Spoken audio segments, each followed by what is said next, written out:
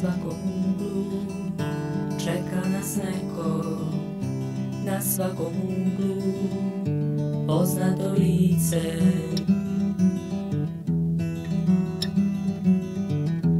Pitaju nešto, uzmu cigaru, stisak ruke, previše hladan.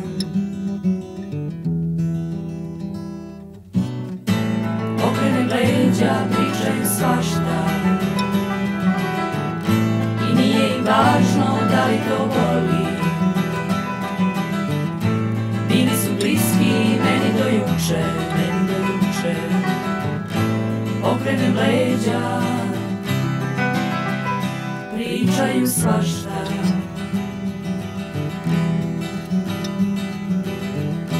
Na svakom uglu čeka nas neko Na svakom uglu poznato lice.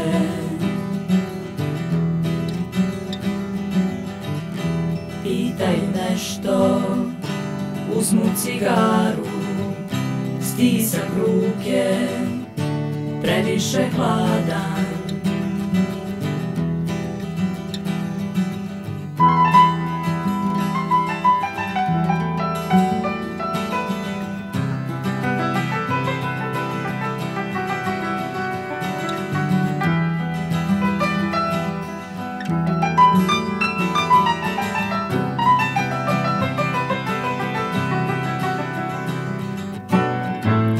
Okrenem leđa, pričaju svašta.